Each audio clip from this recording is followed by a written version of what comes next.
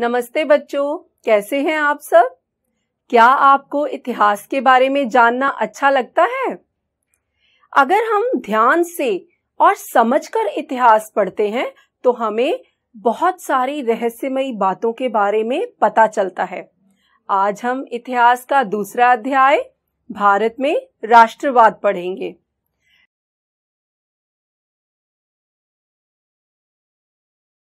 पहले बच्चों जान लेते हैं कि ये राष्ट्रवाद होता क्या है। राष्ट्रवाद का अर्थ है अपने देश के साथ प्रेम। हम जो भी करें, अपने देश के हित में करें। अगर हम ऐसी भावना रखें तो ये भावना राष्ट्रवाद कहलाती है। इस अध्याय में हम पढ़ेंगे कि भारत में राष्ट्रवाद का उदय कब और कैसे हुआ। पिछले अध्याय में आपने पढ़ा होगा कि राष्ट्रवाद का उदय सबसे पहले यूरोप में हुआ था। वहाँ पर एक के बाद एक कई राष्ट्रीय राज्यों का निर्माण हुआ। लोगों की सोच बदलने लगी। वे समझने लगे कि वे कौन हैं, उनकी पहचान क्या है। उनमें अपने राष्ट्र के प्रति लगाव पैदा होने लगा और देश से जुड़े नए नए प्रतीकों का प्रयोग किया जाने लगा नए नए गीत आने लगे और इस सबने राष्ट्रवाद की प्रक्रिया को बहुत बढ़ावा दिया और ये प्रक्रिया बहुत देर तक चली। और धीरे धीरे राष्ट्रवाद की यह भावना आसपास के देशों में भी पनपने लगी। भारत में राष्ट्रवाद का जन्म अंग्रेज़ी शासन के खिलाफ होने वाले आंदोलन के चलते हुआ।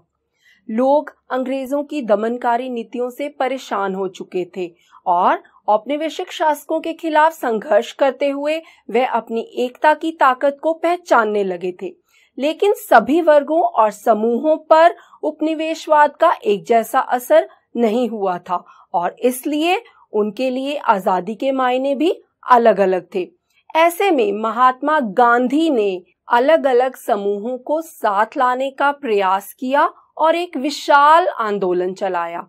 लेकिन इसके बावजूद भी उन समूहों में कभी कभी आपसी टकराव दिखाई देता था। बच्चों, इससे पहले भी आपने भारत में राष्ट्रवाद के बारे में पढ़ा होगा। आज के अध्याय में हम 1920 के दशक से आगे के भारत के स्वतंत्रता संग्राम के बारे में पढ़ेंगे कि किस तरह उस समय लोगों में राष्ट्रवाद की भावना पैदा करने का प्रयास किया गया। किस तरह उन्हें एक साथ लाने की कोशिश की गई और जिसके वजह से आज हमें आज़ादी मिल चुकी है। तो बच्चों, चलो शुरू करते हैं और पढ़ते हैं पहला भाग, पहला विश्व युद्ध असहयोग और खिलाफत।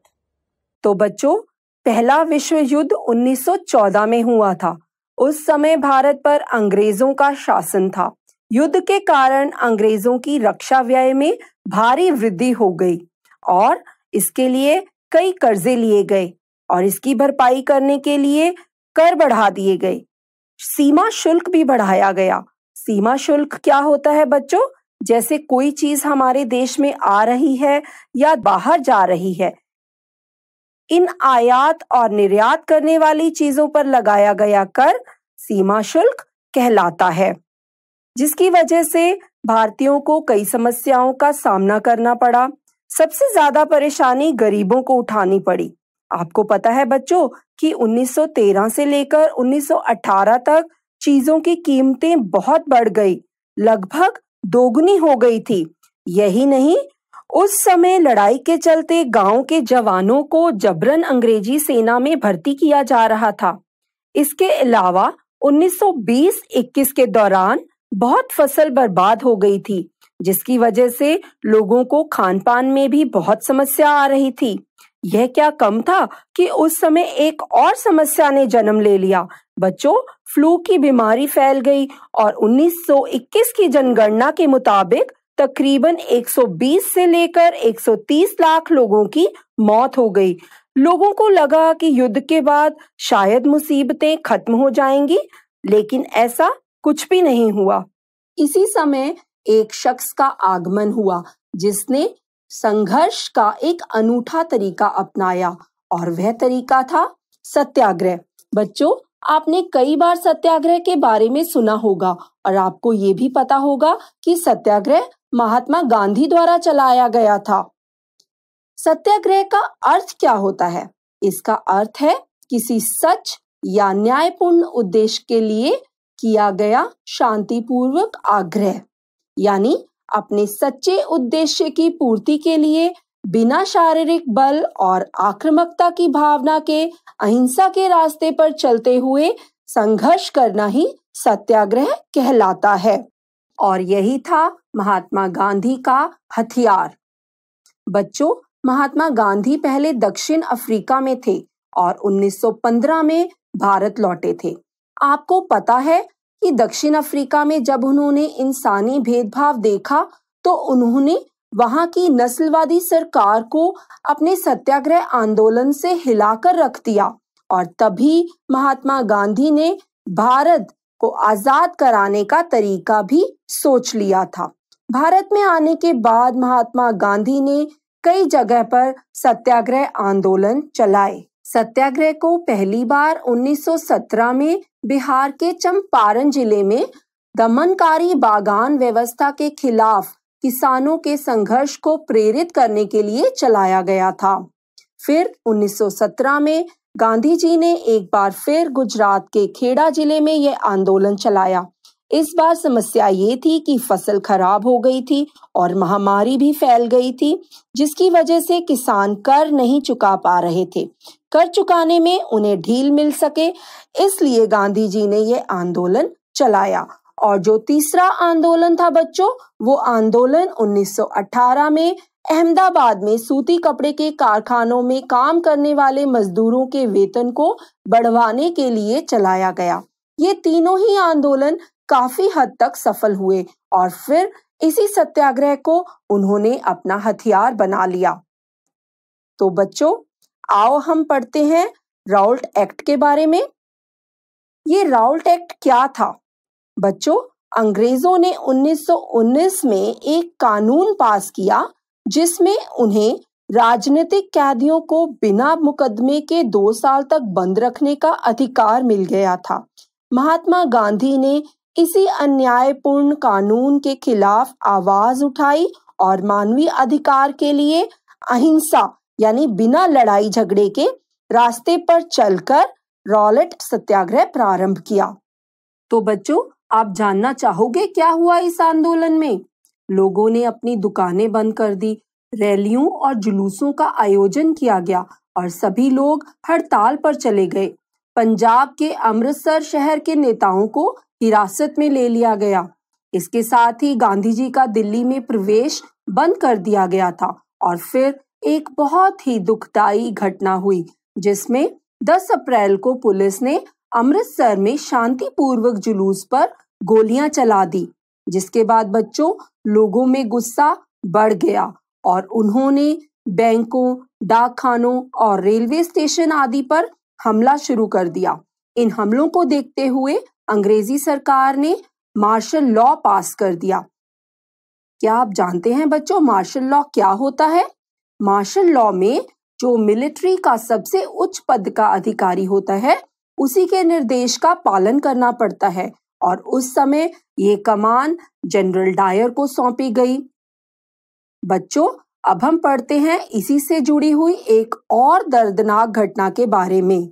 ये घटना भी अमृतसर में हुई थी और इस घटना को जलियांवाला बाग हत्याकांड के नाम से जाना जाता है। आइए देखते हैं क्या हुआ था जलियांवाले बाग में? बच्चों 13 अप्रैल 1919 को अमृतसर के जलियांवाला बाग में लोग बैसाखी का मेला देखने के लिए इकट्ठे हुए थे। ये मैदान चारों ओर से बंद था और शहर से बाहर होने की वजह से वे लोग जान नहीं पाए थे कि मार्शल लॉ लागू हो चुका था, जिसके चलते जनरल डायर के आदेश पर उसके सिपाहियों ने मासूम लोगों पर अंधाधुंध गोलियाँ चला दी, जिसकी वजह से सैकड़ों लोग मारे गए और सबसे ज़्यादा बूढ़े औरतें और बच्चे प्रभावित हुए थे। कई लोग वहाँ अपनी जान बचाने के लिए कुएँ में कूद गए, पर वहाँ भी उनकी जान नहीं बच पाई। अंग्रेज़ों ने ये सब लोगों के मन में डर पैदा करने के लिए किया था, ताकि भारतीय लोग दोबारा उनका विरोध ना कर सकें। पर लोगों ने उनके इस कदम के कारण सरकारी इमारतों पर हमला शुरू कर दिया और जब गांधी जी को पता चला कि सत्याग्रह को नकारा जा रहा था मतलब लोग सत्य और अहिंसा के रास्ते पर नहीं चल रहे थे तो उन्होंने ये सत्याग्रह वापस ले लिया। बच्चों, रावलेट सत्याग्रह बहुत बड़ा था, लेकिन ये अभी कुछ ही शहरों तक सीमित था। इसलिए गांधी जी चाहते थे कि वो इससे भी बड़ा आंदोलन करें, जिसमें हिंदू मुस्लिम लोगों को साथ लाना ज़रूरी था। तभी कुछ मुस्लिम नेताओं ने गांधी जी के साथ बंबई में होने वाली शांति संधि के बारे में चर्चा शुरू कर दी, ताकि सब मिलकर एकजुट होकर खिलाफत के लिए आवाज़ उठा सके। तभी गांधी जी ने असहयोग आंदोलन के बारे में सोचा। अब हम पढ़ेंगे असहयोग आंदोलन के बारे में। गांधी जी ने अपनी प्रसिद्ध पुस्तक हिंद स्वराज में कहा था कि भारत में ब्रिटिश शासन भारतीयों के सहयोग से ही स्थापित हुआ था। अगर हम उन्हें सहयोग देना बंद कर देंगे तो साल भर में ही हमारे देश में स्वराज स्थापित हो जाएगा। और इसी किताब के आधार पर ही उन्होंने असहयोग आंदोलन करने का फैसला किया। इस आंदोलन में गांधी जी सभी भारतीय नागरिकों को इकट्ठा करना चाहते थे और सबसे पहले वो हिंदू मुसलमानों को एक करना चाहते थे। इसके लिए उन्होंने मुस्लिम नौजवान नेताओं मोहम्मद अली और शौकत अली की सहायता ली। इस आंदोलन के लिए मुस्लिम लोगों ने भी महात्मा गांधी जी का सहयोग किया और इसी कारण इस आंदोलन का नाम बदलकर असहयोग खिलाफत आंदोलन रख दिया गया। अब इसमें खिलाफत शब्द क्यों जोड़ा गया? क्योंकि खलीफा उस समय इस्लामिक विश्व के आध्यात्मिक नेता थे। अब बच्चों 1921 में जब इस आंदोलन की शुरुआत की गई तो उस समय मोहम्मद अली और शौकत अली ने महात्मा गांधी जी का साथ दिया। कई सामाजिक समूह भी इस आंदोलन से जुड़ गए। परंतु बच्चों, लोग अलग अलग जगह पर इस आंदोलन का अलग ही अर्थ निकाल रहे थे। अब हम पढ़ेंगे इस आंदोलन की अलग अलग धाराओं के बारे में। इस आंदोलन की शहरों और गाँवों में अलग अलग स्थिति थी। आओ पहले हम पढ़ते हैं कि जब आंदोलन शुरू हुआ तो शहरों में क्या हुआ? हज़ारों बच्चों ने सरकारी स्कूल जाना छोड़ दिया। स्कूलों में शिक्षकों ने इस्तीफा दे दिया। वकीलों ने मुकदमे लड़ने छोड़ दिए। विदेशी सामान को खरीदना एवं प्रयोग करना बंद कर दिया। इसके साथ ही विदेशी कपड़ों को भी जला दिया गया और बच्चों, ये सारी प्रतिक्रिया बहिष्कार की थी मतलब असहयोग की, साथ ना देने की। यह आंदोलन काफ़ी हद तक सफल हुआ, लेकिन कुछ समय बाद इसका असर धीमा पड़ने लगा। अब यह धीमा क्यों हो गया था? इसके कई कारण थे। पहला कारण था कि जो खादी कपड़ा था, वो बहुत महँगा था और हर व्यक्ति खरीद नहीं सकता था। इसलिए लोगों ने विदेशी कपड़े खरीदना शुरू कर दिया। बच्चों के पास भी कोई दूसरा विकल्प नहीं था। सरकारी स्कूल छोड़ने के बाद दूसरी जगह भी तो होनी चाहिए थी ना, ताकि बच्चे वहाँ जाकर पढ़ सके, वो भी नहीं था। इसलिए बच्चों ने स्कूलों में जाना शुरू कर दिया। इसके साथ ही वकील भी अदालत में दोबारा दिखाई देने लगे थे। अब बच्चों, ग्रामीण इलाकों की बात करें तो वहाँ स्थिति कुछ और ही थी। आइए देखते हैं वहाँ क्या हुआ। हम सब जानते हैं कि भारत में ज़्यादातर लोग खेती करते थे और जो खेती करते थे, उन्हें ब्रिटिश काल में बेगार नियम का पालन भी करना पड़ता था। इसका मतलब है बच्चों बिना पैसे और मजदूरी दिए खेतों में काम करवाना।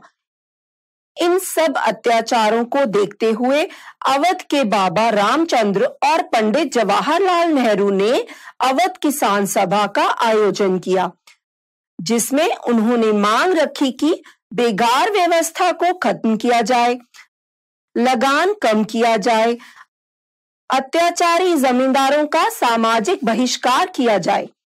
लेकिन जब असहयोग आंदोलन शुरू हुआ, अनेक आदिवासी किसानों ने महात्मा गांधी के संदेश और स्वराज का कुछ और ही मतलब निकाल लिया, क्योंकि वहाँ के स्थानीय नेता ने लोगों से कह दिया था कि उनके लगान हटा दिए जाएँगे और ज़मीन गरीबों में बांट दी जाएगी। पर असल में गांधी जी ने ऐसा कुछ नहीं कहा था। और इससे उनको ये समझ आ गया कि उनकी बात किसानों तक सही से पहुँची ही नहीं है। उदाहरण के लिए, आंध्र प्रदेश में गुदेम की पहाड़ियों की बात करते हैं, जहाँ पर 1920 के दशक में गुरेला आंदोलन चला। इसमें बच्चों मुख्य भूमिका निभाने वाले जो थे, वो थे सीताराम राजू। वह अपने आप को महात्मा गांधी के असहयोग आंदोलन का हिस्सा मानते थे। और काफ़ी दिलचस्प इंसान थे। जब पहाड़ों पर बेगार नियम लागू किया गया और एक नए कानून के तहत जंगल में किसी भी काम से जाने पर रोक लगा दी गई तो लोग बहुत निराश हो गए। उस समय राजू ही लोगों को उपदेश देते थे और कहते थे कि हिंसा के रास्ते पर चलकर ही स्वराज पाया जा सकता है। उनकी बातें सुनकर गुदेम विद्रोहियों ने पुलिस थानों पर हमले किए और ब्रिटिश अधिकारियों को मारने की कोशिश भी की। इसका परिणाम यह हुआ कि राजू को 1924 में फांसी दे दी गई। अब बच्चों, आगे चलते हैं और देखते हैं बागानों में काम करने वाले मजदूर स्वराज के क्या मायने निकाल रहे थे। अठारह के इंग्लैंड इमिग्रेशन एक्ट के तहत बागानों में काम करने वाले मजदूर बिना इजाज़त के वहाँ से बाहर नहीं जा सकते थे। वहाँ के मजदूरों ने स्वराज का मतलब आज़ादी समझा और वो अपनी मर्ज़ी से बागानों से बाहर जाने लगे। परंतु रास्ते में रेलवे और स्टीमरों की हड़ताल की वजह से वे सब फंस गए। पुलिस ने उन्हें पकड़ लिया और बहुत पीटा। अब ऐसी स्थिति में महात्मा गांधी ने असहयोग आंदोलन को रोकने का फैसला किया। इसकी एक और वजह भी थी और वह थी चौरी चौरा में हिंसक टकराव। चौरी चौरा बच्चों एक जगह का नाम है, जहाँ पर भड़की हुई भीड़ ने एक पुलिस स्टेशन को जला दिया था। इस तरह लोग स्वराज के अपने अपने मतलब निकाल रहे थे। यह देखते हुए गांधी जी ने एक फैसला लिया कि अब आंदोलन करने से पहले लोगों को आंदोलन के बारे में समझाया जाएगा, पढ़ाया जाएगा। तरीका क्या होगा, किन इलाकों में आंदोलन करना है यह सब बताया जाएगा। फिर आंदोलन शुरू किया जाएगा। बच्चों, जब 1922 में गांधी जी ने असहयोग आंदोलन वापस लिया तो कांग्रेस के कुछ नेताओं का मानना था कि उन्हें अंग्रेज़ों के खिलाफ विरोध करते रहना चाहिए, क्योंकि अगर विरोध रोका गया तो शायद उन्हें कभी भी स्वतंत्रता नहीं मिलेगी। और इसके लिए उन्होंने प्रांत में होने वाले परिषद के चुनाव में भाग लेने का सोचा। और इसी उद्देश्य से मोतीलाल नेहरू और सी आर दास ने मिलकर 1922 में स्वराज पार्टी का गठन किया। यानी उन्होंने स्वराज पार्टी बनाई। बच्चों, आप जानते हो मोतीलाल नेहरू, पंडित जवाहरलाल नेहरू के पिता थे। उधर जवाहरलाल नेहरू और सुभाष चंद्र जैसे युवा नेता जन आंदोलन की मदद से स्वतंत्रता हासिल करना चाहते थे। और अब इस असहमति के माहौल में दो ऐसे कारक थे जिन्होंने भारतीय राजनीति की रूपरेखा एक बार फिर बदल दी और गांधी जी को एक और आंदोलन शुरू करना पड़ा। आइए देखते हैं वे कारक क्या थे। पहला कारक था विश्वव्यापी आर्थिक मंदी और दूसरा कारक था साइमन कमीशन विश्वव्यापी आर्थिक मंदी के कारण 1926 में कृषि उत्पादों की कीमतों में भारी गिरावट आ गई और 1930 में तो और भी बुरा हाल हो गया था। और क्या हुआ बच्चों कि जो कृषि उत्पाद थे, उनकी मांग भी कम हो गई और उनका निर्यात भी कम होने लगा। मतलब ये चीज़ें देश से बाहर बिकनी कम हो गई जिसकी वजह से किसानों के लिए अपनी उपज बेचना और लगान चुकाना कठिन हो गया। इसकी वजह से गरीबी बहुत बढ़ गई थी, पर सरकार ने कर वसूली में कोई कमी या ढील नहीं की थी। अब आइए पढ़ते हैं साइमन कमीशन के बारे में। ब्रिटेन की सरकार ने राष्ट्रवाद के बढ़ते हुए दबाव को देखते हुए एक वैधानिक आयोग का गठन किया। वैधानिक आयोग क्या था बच्चों? सरल शब्दों में एक टीम तैयार की गई ताकि भारत के संवैधानिक ढांचे में सुधार लाया जा सके। पर इस आयोग में सारे लोग अंग्रेज़ थे, एक भी भारतीय नहीं था। और इसलिए 1928 में जब यह कमीशन भारत आया तो भारतीयों ने इसका डटकर विरोध किया और साइमन कमीशन वापस जाओ के नारे लगाए। लाहौर में इसी विरोध में जुटे भारतीयों पर पुलिस ने लाठीचार्ज किया, जिसकी वजह से स्वतंत्रता सेनानी लाला लाजपत राय की मौत हो गई। यही कारण थे कि महात्मा गांधी ने फिर एक बार जन आंदोलन शुरू करने का फैसला किया, और यह आंदोलन था सविनय अवज्ञा आंदोलन। अब बच्चों, सविनय अवज्ञा का क्या मतलब है? अवज्ञा मतलब कानून का पालन ना करना, और गांधी जी ने अब यही करने का फैसला किया। इस आंदोलन को शुरू करने से पहले गांधी जी ने लॉर्ड इरविन, जो उस समय भारत में ब्रिटिश सरकार के प्रतिनिधि थे, को चेतावनी दी और उनके सामने 11 मांगे रखी। उनमें से कुछ मांगे सामान्य थी और कुछ किसानों और उद्योगपतियों से जुड़ी थी। गांधी जी इन मांगों के ज़रिए समाज के सभी वर्गों को अपने साथ जोड़ना चाहते थे। पर इरविन ने ये सारी मांगे पूरी करने से इनकार कर दिया।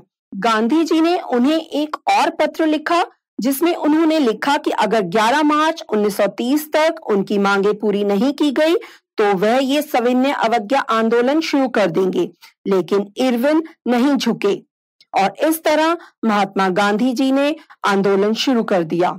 इस आंदोलन को सफल बनाने के लिए उन्होंने सब लोगों को एक करना चाहा और ऐसा करने के लिए उन्होंने नमक को चुना। अब बच्चों, उन्होंने नमक को ही क्यों चुना? क्योंकि नमक भोजन में प्रयोग होता था और इसे हर व्यक्ति प्रयोग करता था, चाहे वो अमीर था, चाहे गरीब, और दोनों ही इसके लिए कर देते थे। अब नमक कानून के तहत नमक बनाने का काम सिर्फ़ सरकारी कंपनी ही कर सकती थी। इसलिए गांधी जी ने सबसे पहले इसी कानून को तोड़ने का फैसला लिया, जिसके लिए उन्होंने दांडी यात्रा शुरू की। अब पढ़ते हैं थोड़ा दांडी यात्रा के बारे में। महात्मा गांधी ने अपने 78 विश्वसनीय लोगों के साथ यह पैदल यात्रा 12 मार्च 1930 को शुरू की। यह यात्रा साबरमती में गांधी जी के आश्रम से 240 किलोमीटर दूर दांडी नामक तटीय कस्बे में जाकर खत्म होनी थी। रास्ते में गांधी जी जहाँ भी रुकते, लोगों को स्वराज का अर्थ समझाते और उन्हें शांतिपूर्वक ढंग से अंग्रेज़ों की बात न मानने के लिए कहते। 6 अप्रैल को दांडी पहुंचकर उन्होंने समुद्र के पानी को उबालकर नमक बनाना शुरू कर दिया और इस तरह ये आंदोलन शुरू हो गया। फिर उस साल बहुत सारा नमक अवैध तरीके से बनाया गया मतलब कानून को तोड़कर बनाया गया। इस आंदोलन के चलते किसी ने भी नमक का कर अदा नहीं किया। जब अंग्रेज़ों ने देखा कि ये आंदोलन धीरे धीरे सफल हो रहा है तो उन्होंने इस आंदोलन से जुड़े सभी नेताओं को जेल में डालना शुरू कर दिया ताकि वे सफल ना हो पाए। अप्रैल 1930 में अंग्रेज़ों ने महात्मा गांधी जी के बहुत करीबी साथी अब्दुल गफ्फार को गिरफ़्तार कर लिया, जिसकी वजह से लोगों का गुस्सा बढ़ गया और बहुत भारी भीड़ सड़कों पर उतर आई और अंग्रेज़ों पर हमला करने लगी। पुलिस ने भीड़ पर गोलियाँ चलाई और बहुत सारे लोग मारे गए। इसके एक महीने बाद ही गांधी जी को भी गिरफ़्तार कर लिया गया। इससे लोगों का गुस्सा और बढ़ गया और उन्होंने पुलिस थानों, अदालतों और सरकारी भवनों पर हमला शुरू कर दिया। इसके साथ साथ जो भी शांतिपूर्वक आंदोलन में गांधी जी का साथ दे रहे थे, उन पर हमले किए गए। औरतों और बच्चों को मारा पीटा गया और तकरीबन एक लाख लोगों को गिरफ़्तार कर लिया गया। बच्चों इस स्थिति को देखते हुए महात्मा गांधी ने एक बार फिर ये आंदोलन वापस ले लिया और 5 मार्च 1931 को महात्मा गांधी ने लॉर्ड इरविन के साथ एक समझौता किया, जिसको गांधी इरविन समझौता कहा गया। इस समझौते के तहत गांधी जी ने जेल में डाले गए लोगों को रिहा करवा लिया, क्योंकि वो लोगों पर जुल्म नहीं होने देना चाहते थे। उसके बाद गांधी जी चाहते थे कि अंग्रेज़ों, कांग्रेस पार्टी और उनके बीच एक सभा हो, ताकि कोई ना कोई नया तरीका निकाला जा सके। समझौते के आधार पर इरविन ने उनके पक्ष में बोलने के लिए महात्मा गांधी को वचन दिया था। इस समझौते के बाद लंदन में एक सम्मेलन रखा गया, जहाँ पर महात्मा गांधी और सरोजनी नायडू गए, पर वहाँ इरविन ने उनके लिए कोई पक्ष नहीं रखा। जिसके कारण महात्मा गांधी को वापस आना पड़ा और उन्होंने फिर से अवज्ञा आंदोलन शुरू कर दिया। पर साल भर चलने के बाद उन्नीस तक आते आते आंदोलन धीमा पड़ गया था, क्योंकि लोगों ने भी गांधी जी का सहयोग करना बंद कर दिया था। तो बच्चों, उम्मीद है आपको गांधी जी के आंदोलनों के बारे में काफ़ी कुछ समझ आ गया होगा। तो आओ, अब आगे बढ़ते हैं और पढ़ते हैं पाठ का चौथा भाग। सामूहिक अपनेपन का भाव। अब लोगों में राष्ट्रवाद की भावना पैदा हो चुकी थी। वे यह महसूस करने लगे थे कि वे एक ही राष्ट्र का हिस्सा हैं और ये भावना पैदा हुई थी दो कारणों से। पहला कारण था संयुक्त संघर्ष और दूसरा कारण था सांस्कृतिक प्रक्रिया। संयुक्त संघर्ष यानी मिलकर संघर्ष करना। 19वीं 20वीं सदी में जितने भी आंदोलन हुए थे, उन सब में सभी समुदायों ने मिलकर भाग लिया, जिससे उनमें अपनापन आया और साथ ही उनमें अपने देश के लिए भाव पैदा हुए। अब हम पढ़ेंगे, सांस्कृतिक प्रक्रिया ने लोगों के मन में राष्ट्रवाद की भावना कैसे पैदा की? उस समय लोगों में राष्ट्रवाद की भावना लाने के लिए नए नए गीत लिखे जाने लगे, बहुत सारे चिन्ह बनाए जाने लगे और बहुत सारी ऐसी चीज़ों का निर्माण होने लगा, जो हमारे भारत की संस्कृति से जुड़ी थी, जो देश के अपनेपन का एहसास करवाती थी। जैसे बच्चों बंकिम चंद्र चट्टोपाध्याय ने पहली बार भारत को भारत माता की छवि दी, जो ये दर्शाती थी कि भारत हमारी मातृभूमि है और उसकी स्वतंत्रता और सुरक्षा ही हमारा लक्ष्य है। जैसे हम अपने घर पर अपनी माता की सुरक्षा और आदर का ध्यान रखते हैं वैसे ही भारत माँ का भी रखना है। उन्होंने अपनी मातृभूमि के लिए वंदे मातरम गीत भी लिखा। इस गीत को बंगाल में स्वदेशी आंदोलन के दौरान खूब गाया गया। यह गीत वंदे मातरम कविता से बनाया गया था। इसके अलावा स्वदेशी आंदोलन के दौरान एक तिरंगा बनाया गया जिसे चिन्ह के रूप में प्रयोग किया जाता था। इस झंडे में तीन रंग थे, हरा, पीला और लाल। इसमें आठ कमल के फूल भी लगाए गए थे जो ब्रिटिश भारत के आठ प्रांतों को दर्शाते थे, और एक अर्ध चंद्रमा भी था जो हिंदू मुसलमानों की एकता को दर्शाता था। 1921 तक गांधी जी ने भी स्वराज का तिरंगा तैयार कर लिया था, जिसमें सफ़ेद, हरा और लाल रंग था, और इस झंडे के बीच में गांधीवाद के प्रतीक चरखे को जगह दी गई थी, जिसे बाद में अशोक चक्र का रूप दे दिया गया। इस झंडे का प्रयोग जुलूसों में किया जाने लगा और बच्चों, इसी राष्ट्रवाद की भावना ने ही संघर्ष करते हुए लोगों को एक धागे से बाँध दिया और अंत में उन्हें औपनिवेशिक शासकों से मुक्त करा दिया। इसके अलावा बच्चों, एक और साधन था जिसके द्वारा लोगों में राष्ट्रवाद की भावना पैदा की गई। लोगों के मन में राष्ट्र के प्रति गर्व पैदा करने के लिए भारत के इतिहास को दोबारा एक नए ढंग से प्रस्तुत किया जाने लगा। गौरवमयी प्राचीन युग के बारे में लिखा जाने लगा और लोगों को भारत की महानता और उपलब्धियों पर गर्व महसूस कराया जाने लगा। तो बच्चों, ये था राष्ट्रवाद के पीछे का इतिहास। उम्मीद है आपको ये अच्छे से समझ आ गया होगा। और अब देखते हैं इसी के साथ जुड़े कुछ सवाल और साथ ही देखते हैं उनके जवाब। तो पहले बच्चों, आपके सामने कुछ वाक्य दिए गए हैं और आपको बताना है कि ये वाक्य सही है या गलत। पहला वाक्य है गांधी जी अहिंसा के रास्ते पर चलकर आज़ादी पाना चाहते थे। ये सही है। दूसरा वाक्य है, लाला लाजपत राय की मौत गोली लगने से हुई थी। तो बच्चों, ये गलत है क्योंकि उनकी मौत लाठी लगने की वजह से हुई थी, गोली लगने की वजह से नहीं। आओ अब देखते हैं तीसरा वाक्य। रॉलेट एक्ट 1919 में पास किया गया था। तो बच्चों, यह वाक्य भी सही है। चौथा वाक्य। गांधी जी ने पहली बार सत्याग्रह चंपारण में शुरू किया। यह वाक्य भी सही है। अगला वाक्य है, पहला विश्व युद्ध 1918 में शुरू हुआ था। यह वाक्य बच्चों गलत है, क्योंकि पहला विश्व युद्ध 1918 में नहीं, बल्कि 1914 में शुरू हुआ था।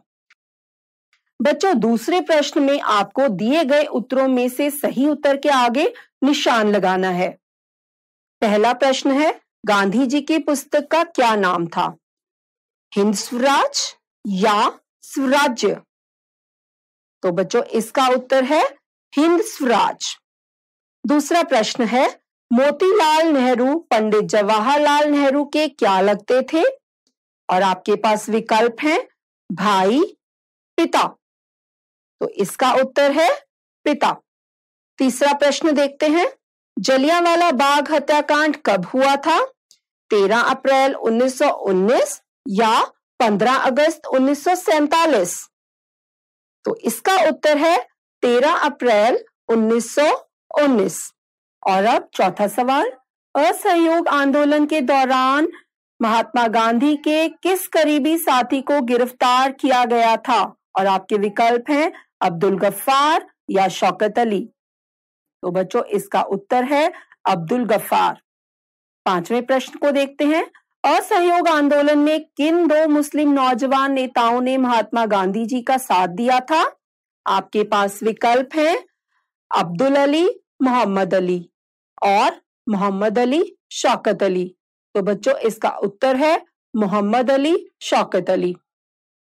और यह है आपका छठा सवाल।